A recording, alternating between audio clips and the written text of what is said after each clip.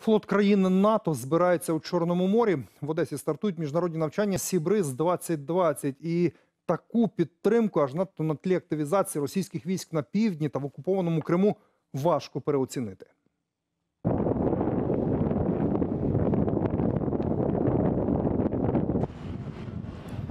Ну от, власне, саме так через Босфор на навчання в напрямку України пройшов есмінець США Портер.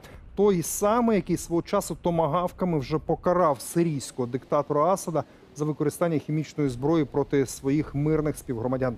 Разом із нашим гетьманом Сагайдачним ці кораблі стануть флагманами навчань. Також у складі групи НАТО до Одеси прибули французькі, грецькі та італійські кораблі.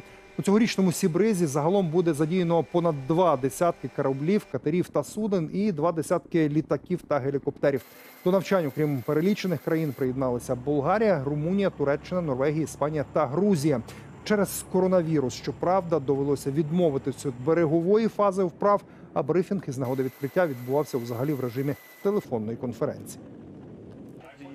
США, союзники НАТО та країни-партнери визнають важливість не лише в підтриманні стабільного та процвітаючого чорноморського регіону, а й важливість можливості безперебійної діяльності разом та стримування агресії. Ситуація в Чорному морі залишається напруженою.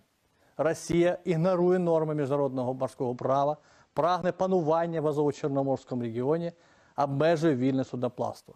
Але в 21 столітті світовий океан це перше за все простір партнерства,